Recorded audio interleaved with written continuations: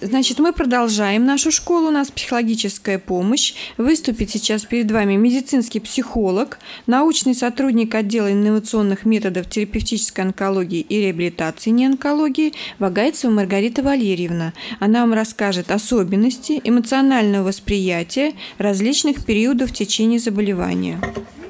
Ну что, не вставила флешку? Ну, там нет пока. Давай вставим. Флешка будет у нас? Ходят, продвигаются вперед. Скажите, слышно ли меня? Слышно, хорошо. Сейчас нам сделают флешечку. И мы поговорим с вами о том, что вообще-то существуют разные этапы заболевания. Да, мы это гром, то есть как-то тщательно увидим на слайде. Э, их всего семь считается, один из них считается нулевым. И независимо от этих самых этапов течения заболевания, есть еще такой параметр – этапы психологической адаптации к заболеванию. Так вот, эти вещи не э, однозначно коррелируют друг с другом положительно на любом, на любом этапе заболевания. Вот сейчас мы к этому приблизимся. Э, человек может оказаться на разных этапах своей психологической адаптации – а от этого, конечно, на это влияет то, как человек воспринимает течение своего заболевания. А что такое эмоциональное восприятие? Да, просто давайте сориентируемся в терминах, чтобы понимать, о чем мы с вами говорим. То есть это важнейшая психологическая характеристика человека, которая, в общем-то, и обуславливает особенности нашего реагирования. А вообще все ушло. Что там у нас не так? Я прошу прощения. Помогите мне, пожалуйста. Я на что-то нажала, да, вероятно? Угу. Спасибо. Спасибо. Да, вправо. Спасибо. А, эмоциональные реакции личности сугубо индивидуальны. Совершенно невозможно говорить о том, что я могу реагировать на что бы то ни было точно так же, как и а, мой сосед. Даже если мы находимся в одной ситуации, все равно и даже какие-то кластеры могут да, у нас быть общие в попадании эмоциональных реакций. Но вообще-то они сугубо индивидуальны. То есть они конкретные, обусловлены моей личностной природой и для меня удобны и привычны. А, также характеристиками эмоциональных реакций является то, что они всегда спонтанны. Мы с вами да, каждый раз при встрече говорим о том, что мы особо не можем контролировать свои, свой эмоциональный ряд. Это просто такой фактор регистрации нашей, нашего ответа на раздражитель, на совокупность раздражителей. Поэтому эмоции нельзя обнулять, нельзя их игнорировать, нельзя говорить вам перестаньте плакать или не переживайте, соберитесь, какая ерунда. Это, в общем-то, скорее такой метод сообщения сообщить другому человеку, ну-ка веди-ка себя так, чтобы мне было удобно. Но так как нас этому обычно в детстве обучают родители, чтобы мы были достаточно удобны для них и для социума, то мы тоже привычным образом со временем в течение всей нашей жизни начинаем табуировать свои негативные эмоции, почему-то считая, что если они неприятные, то значит они эм, да,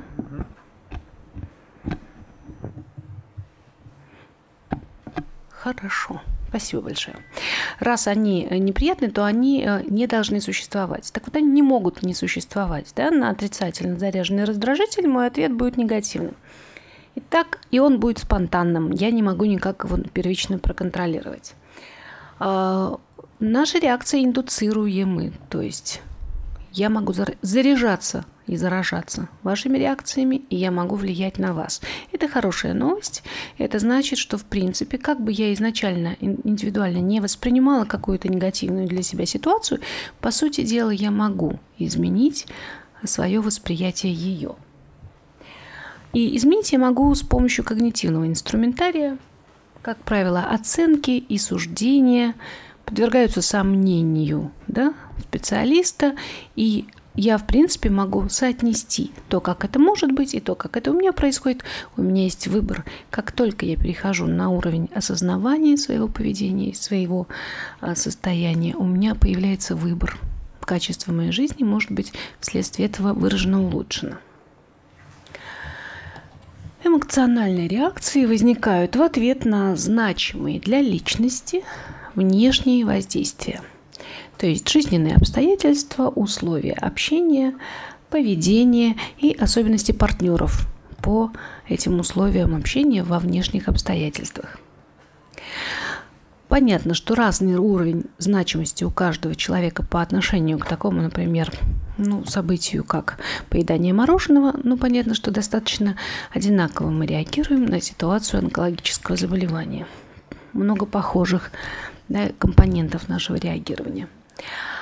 А, жизненные обстоятельства, в том числе хроническое заболевание, то есть болезнь, которая не имеет признанного способа абсолютного излечения, и это те диагнозы, да, которые требуют постоянного внимания и надлежащего ухода. И к таким хроническим заболеваниям, слава богу, на сегодняшний день мы уже можем отнести онкологическое заболевание, которое, может быть, лет сто тому назад еще было фатальным, но с тех пор сильно распространилось. И, как ни парадоксально это звучит, это стало таким хорошим фактором, потому что стала и медицина развиваться. И развилась до такой степени, что очень многие формы рака на сегодняшний день подлежат ремиссии, и даже те, которые рецидивируют, тоже по-прежнему достаточно совместимы с жизнью. Жизнь продолжается, значит, мы начинаем переходить на уровень понимания качества этой жизни. Итак, стадии любого заболевания, в том числе хронического заболевания, онкологическое заболевание. Первая, нулевая стадия – это профилактическая мы поговорим с вами о том, почему вообще мы да, почему она для нас считается значимой. Но нам с вами на сегодня, наверное, уже актуальнее фаза или этап, или стадия активного лечения. Да, кто здесь сейчас находится на этапе активного лечения? Ну, вот несколько человек, да, в нашем сегодняшнем коллективе довольно высокий процент, да. Э, за... То есть сначала у вас была стадия у всех постановки диагноза, потом фаза активного лечения, потом восстановление, которые люди обычно игнорируют, и мы сегодня немножко об этом поговорим. И ура, ремиссия. Ремиссия – это хорошо, это то, к чему мы стремимся, но иногда бывает рецидив, у нас же тяжелое хроническое заболевание. И потом снова ремиссия, ну, а может быть и паллиативная стадия. Да, особенности паллиативной стадии сегодня тоже пару слов мы скажем. Итак, на любом этапе течения заболевания вы опять что-нибудь хотите мне поправить? Хорошо. Может, вы не... Да. Ну, мне кажется, что меня плохо слышно. Если будет плохо слышно, вы руками машите. Хорошо, я буду кричать. А, так вот, на любом этапе течения заболевания, которое мы сейчас с вами перечислили, наше эмоциональное восприятие, собственно говоря, подразделяется на три категории. Конструктивное, когда я осознаю ситуацию заболевания и, в общем-то, достаточно эм, хорошо сохраняю эмоциональное здоровье, ну или дефицитарное или деструктивное отношение. Непроизвольное избегание ситуации, когда я не понимаю, что я вытесняю, однако вытесняю, настолько вытесняю, что, может быть, даже лечиться не иду, или, в общем, чем-то пренебрегаю в своей жизни, либо наоборот, так прикован к этой ситуации, что попадаю в то самое тоннельное сознание, и ничего другого больше со мной не происходит, не происходит в длительном периоде. А, давайте теперь рассмотрим как раз по этапам особенности восприятия. Вот этот самый нулевой профилактический момент. Почему мне кажется, что важным сегодня это проговорить? У вас ведь есть семьи, у вас ведь есть кровные родственники. И, к сожалению, мифологизация диагноза в нашей, э, нашем сообществе еще достаточно хорошо выражена. Это связано с тем, что люди не знают, Э, что они уже подвержены лечению, что это можно делать. И они очень боятся. И поэтому они пропускают самый начальный этап. Так вот, я не к тому, чтобы вы с транспарантом ходили и посторонних людей информировали, но возьмите ответственность за своих детей. Возьмите ответственность на себя за своих кровных родственников. Вам вполне подвластно стать примером мужества и достоинства, да, человеческого при столкновении с ситуацией онкологии. Посмотрите на меня, я справляюсь. Не бойтесь узнать про себя это. Почему пропускаем ну, фазу диагностики на ранних этапах? Ну, слишком страшно зайти в этот кабинет, да? Обратный какой-то ассоциативный ряд у человека возникает в голове, что я зайду, и тогда я болен. Ну, это же, в общем, да, мифы и эм, суеверия. Так вот, Помогите своим близким разбить этот ассоциативный ряд. убедите их в том, что Болеть можно, но и жить при болезни тоже можно. Пусть они не боятся вовремя обследоваться. Пусть они возьмут ответственность за свое здоровье на себя на той стадии, когда это будет для них вот критически важно, да, чтобы не запустить это заболевание. Значит, ну, конечно, кроме невротизирующими факторами, кроме этой самой мифологизации, является наша низкая социальная защищенность, конечно. Но вы же тоже знаете о том, что существуют квоты, есть какие-то пути. В конце концов, можно потерпеть, может быть, не самые комфортные условия в случае столкновения с городскими службами, но не это важно. Да? Вы теперь носители этой информации, вы можете, и мне кажется, даже должны ею делиться. А, фаза постановки диагноза. Ну, конечно, большинство, не знаю почему фонит, большинство людей, и это особенность онкологического заболевания, воспринимают ее ситуацию как экстремальную. А экстремальная ситуация – это та, которая происходит вне поля э, моего воздействия. Я без, совершенно бессильна, и поэтому и делать ничего не буду. Э, потому что, по большому счету, это и происходит не со мной. Такая вот э, обычная первичная реакция на диагноз. И только те люди, которые между прочим, спонтанные, большинство людей так с ними это и происходит в процессе адаптации, присваивают себе ответственность за свое собственное здоровье и за прохождение лечения. Вот те люди, достаточно хорошо и быстро адаптируются. Это не значит, что они не плачут, не горюют, не пугаются, не боятся. Э, но, тем не менее, качество их жизни по пути прохождения лечения будет лучше. Те люди, которые продолжают... И это значит, что они переработали ситуацию как кризисную. А те, которые продолжают ответственность выносить вне своего сознания и своей ответственности, они остаются в поле вот этой экстремальной ситуации. И вот это, как правило, дезадаптанты. Ну, конечно, травмирующий фактор для восприятия ситуации первичной постановки диагноза это полный максимальный уровень неопределенности, совершенно непонятно, да, только приступили, еще верификацию, может быть, не прошли, но не мне вам рассказывать, с чем это связано. И, конечно, самая нормативная реакция на эту ситуацию – это шок, отрицание и гнев. И это про то, что, если даже я считаю, что я не должна гневаться, и что я всегда должна быть собранной, и да, хаос не может настигать меня, ну, забудьте об этом. Вот с этого момента вы знаете, что такие переживания абсолютно нормативны. Если я принимаю эти свои состояния, я могу дозировать их э, спонтанность. И, скорее всего, дезорганизации в да, и перевозбуждения у меня не случится, потому что я буду э, правильно относиться к своему состоянию, буду дозировать отдых и напряжение, буду много плакать, потому что действительно горько, да, буду как-то с близкими договариваться, не волнуйтесь, это не про вас, подождите, все образуется. То есть, если я осознаю и принимаю свои негативные эмоции, то я в большей степени ими владею. Если я их стыжусь и вытесняю, то тогда они владеют мной. Вот в этом, на этом этапе это касается и пациентов, и родственников пациентов, потому что вы же знаете, наши родственники всегда мощно кидаются навстречу, подхватывают и могут не рассчитать свой эмоциональный ресурс, потом это чревато да, некоторым таким отскоком в сторону.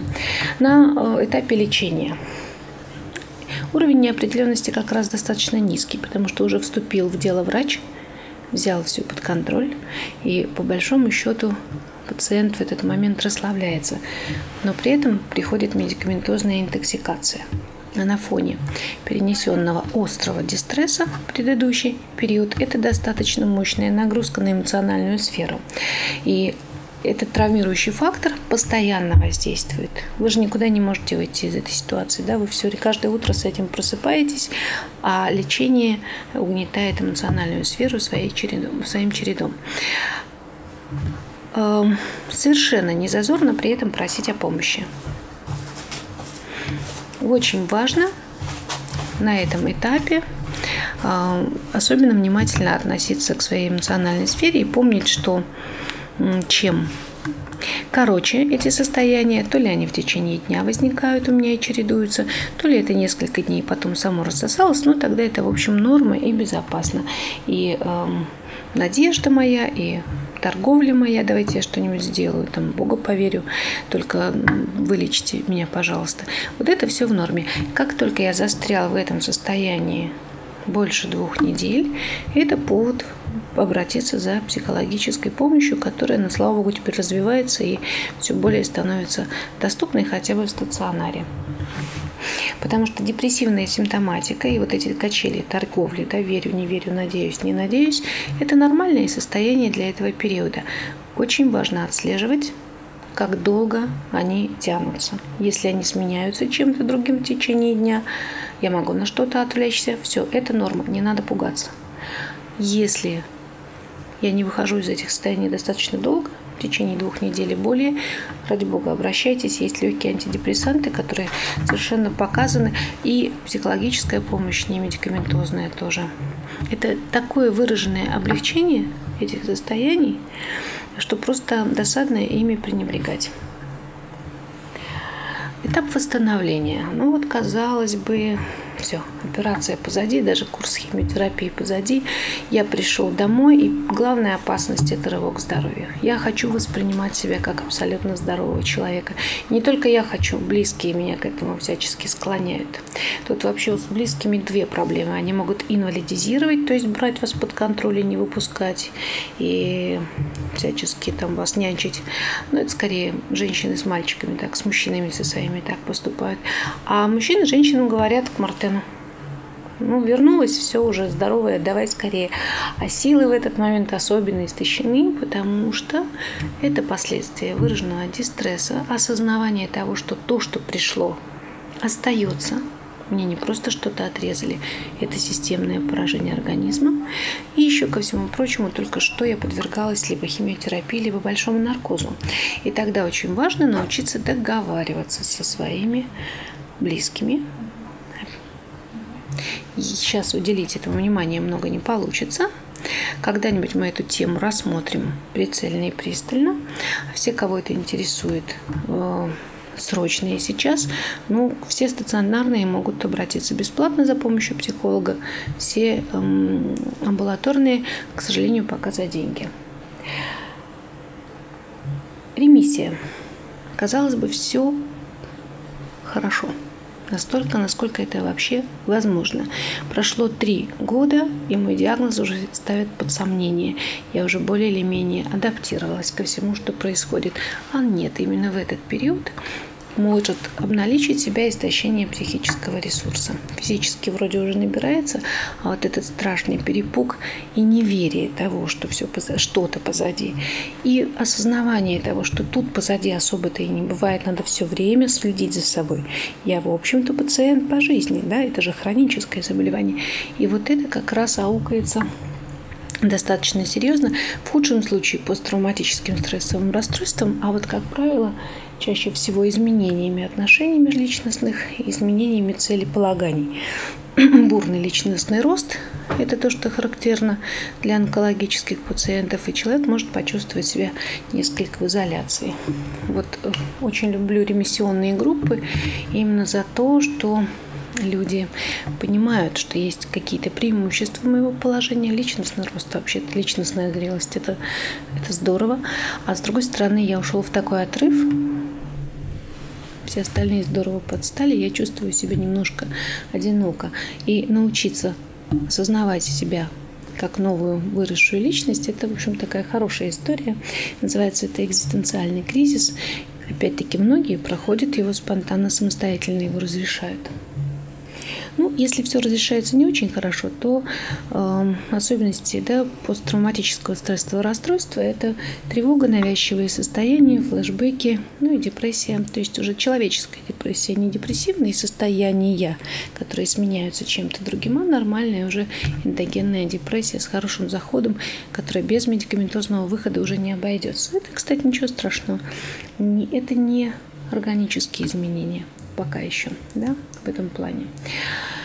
А бывает, что есть рецидив, и с одной стороны кажется, что это очень тяжело, потому что мои надежды себя не оправдали, но с другой стороны, во-первых, человек уже достаточно адаптированный к этой ситуации, а во-вторых, у него под руками все а, маршрут, э, маршрутные карты. Он уже точно знает, как из этой ситуации выходить.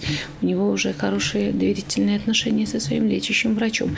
Это не безресурсное состояние. Там можно черпать и черпать. А вот нормативные реакции все те же самые, да, опять шок, естественно, отрицание, но еще тут же и надежда, и качели, потому что один раз я выскочил, я думаю, что еще раз у меня это получится. В общем, своеобразное состояние по восприятию. И если мы оказываемся паллиативной стадии, то, конечно, люди, которые от нее далеки и не подготовлены к этому специально, думают, что там тоже жизни никакой нет, как на Марсе. И это не так. Там достаточно много своих ресурсных состояний. Не думаю, что сегодня для кого-то из вас это актуально. Паллиативная медицина штука своеобразная, но всегда речь идет о инкурабельности пациента, то есть активного лечения больше не будет, зато будет облегчение симптоматики острой, и активный разговор о качестве жизни. Так вот, на этой стадии жизнь продолжается и продолжается, между прочим, достаточно долго. И очень жалко, когда люди на этой стадии теряют качество жизни, потому что пугаются того, что происходит. С этим, кстати, тоже можно работать и достаточно эффективно. Так вот, на любом этапе болезни я могу быть эмоционально здоров, несмотря на то, что реакции спонтанные, но я помню, да, что, во-первых, я индуцируем. Если я найду правильное сообщество, то я смогу выскочить из своих привычных паттернов, загружаться. И я могу путем осознавания влиять на свое восприятие того, что происходит. Что значит я эмоционально здоров? Это значит, что я могу свободно обсуждать свою ситуацию. Это вовсе не значит, что я не плачу, не горюю, не ссорюсь, не гневаюсь. Нет, я делаю все это, не стыжусь этого, это дозированно и под контролем. Я не застреваю на этой ситуации. Я не избегаю ее. Если про нее со мной разговаривают, я могу поддержать этот разговор, но никому не предлагаю его навязчиво. Да? Тогда эмоционально здоров. Как мы корректируем восприятие? Это можно делать самостоятельно, а можно приходить в группу или на индивидуальные занятия. Ну, это алгоритм всего-навсего-то и надо, чтобы признать, утилизировать, планировать и поощрить. Поощрить, конечно же, себя. Признать, конечно же, себя как своеобразную и очень ценную личность. Утилизировать свои негативные переживания, которые до этого накапливал в себе. Ну и научиться уже на свободе планировать свое будущее. Ну, кстати, в, да, в краткосрочном периоде, да, когда работают с травмой, планы строят краткосрочные, даже если речь идет просто о потере имущества. Так выходит из травматичной ситуации. Еще один алгоритм коррекции, да, три составляющих – это время, я и мир, который меня окружает. Нужно помнить о том, что я справлюсь, но всем нужно время, да, не торопись, не завышай требования к себе, не требуй от себя слишком много. Нужно ценить, научиться, наконец-то научиться ценить свое «я», помнить, что у всех свои особенности. Я не сравниваю себя с людьми, которые сидят рядом или лежат со мной в палате, или живут со мной под одной крышей. Я – это я. А мир, который меня окружает, разделяется на формальный круг и близких людей. Когда я был абсолютно здоров, я мог это все путать, микшировать, вообще меня это не сильно колыхало. А вот сейчас я уже могу посидеть, подумать, и времени у меня для этого достаточно, и отпустить формальный мир или наладить с ним формальные связи и осознать, что есть мой близкий ресурсный круг. Результатами коррекции восприятия болезни являются отсутствие страха самого страха, да, на котором я могу зафиксироваться, и это будет отравлять мне жизнь. Это как страх боли. Что такое боль эм, невротическая? Не болит, я так боюсь, что болит, что даже воссоздаю это болевое ощущение. И тревога снижается за счет того, что я научаюсь брать травмирую, травму под контроль, психотравму, я контролирую свою. А, на этом пути хорошо бы работать со своими чувствами самостоятельно или с привлечением специалиста. Мы сто раз это проходили, но еще раз вспомним, да, распознать, назвать, отреагировать. Путь осознавания – не бывает плохих и хороших чувств. Но я должна уметь дифференцировать негативные и позитивные. с позитивными как-то само обойдется, а с негативными хорошо научиться работать. Называя их вслух или записывая, если в данный момент мне говорить вслух их неудобно, я беру эти самые чувства под контроль. Первый шаг к утилизации уже сделан. А потом я могу их отреагировать. Я могу их отреагировать прилюдно в группе с единомышленников, ну или невербально пописав письма. Да, это называется нарративный подход. Человек сильнее собственных страхов и слабостей. Ресурс человека огромен, независимо от того, насколько он болен и чем именно он болен. Не все могут собственный ресурс распознать самостоятельно. Это тоже нехорошо и неплохо. Но все могут обратиться за помощью в этом направлении а цель психологического сопровождения в ситуации онкологического заболевания невелика, не расширена. Это коррекция эмоционального и опосредованно физического состояния пациента в условиях заболевания и, собственно, сводится к двум вещам – помощи в адаптации к текущим изменениям и обучению контролировать свое травматическое состояние. Коротенечко о том, как это происходит в индивидуальном плане это короткий формат. Экстремальная психология всегда короткий формат. Это одно занятие, если другие да, обстоятельства не позволяют. Там может быть пять, но, как правило, кратное пяти. И в зависимости от стадии заболевания 15 или 55 минут. А в группе открытая форма, когда встречаются люди однократно, и тогда это вообще единственная встреча, либо люди договариваются, что им хочется побыть вместе подольше, тогда это может быть 7 встреч. Ну, вы видите все, да, на слайде. Мы занимаемся в лабораторном корпусе. И теперь есть группа ВКонтакте. Кроме сайта института есть еще группа ВКонтакте. И там с января, вероятно, да, Татьяна Юрьевна, будет открыта информация о наборе в эти группы. Как правило, это 5 максимум 10 человек, которые, собственно, и договариваются о формате встреч. Если вам это покажется да, интересным, пожалуйста, записывайтесь. Там будут разные формы работы. Все это можно посмотреть на сайте. Психологическая помощь не гарантирует выживание на любом этапе заболевания. А наши ценности – это самосмысление, свобода и ответственность за принятие жизненно важных решений. Спасибо вам за внимание. Спасибо, что остались. Приятно, когда психология ценность. С наступающими вас всеми праздниками и здоровья вам. Здоровья. Сейчас Татьяна Юрьевна еще ответит. У нас есть вопросик тут. Уважаемые коллеги, ну те, кто торопится, могут идти. Просто у нас остался один вопрос. Он не совсем э, отвечает сегодняшней теме, сегодняшнего занятия, но он очень крайне достаточно важный. А, больные, получающие профилактич... А, адювантную а, гормонотерапию ингибиторами ароматазы, в частности анастрозолом, у этих больных достаточно часто развивается разрежение костной ткани от э, степени остеопении до остеопороза. Это диагностируется при помощи исследования, которое называется денситометрия. Э, э, исследование при определенной рентгенологической лучевой нагрузке позволяет выявить состояние всей костной системы организма, и по показателю Т мы определяем, что у пациента остеопороз или остеопения. Пациенты, которые длительно получают ингибитор ароматазы, а, им желательно хотя бы раз в полгода проводить это обследование. При выявлении остеопении или, или же остеопороза нужно обратиться к двум специалистам. Первый специалист, который этим занимается, это эндокринолог, который может установить э, диагноз остеопороза назначить соответствующее лечение, или специалист остеопоролог. Это, эти специалисты также есть в нашем э, городе. Направление к ним можно получить через э, врача а, поликлиники по ОМС. Это либо консультация эндокринолога, либо консультация остеопаролога. Вот я ответила на ваш вопрос.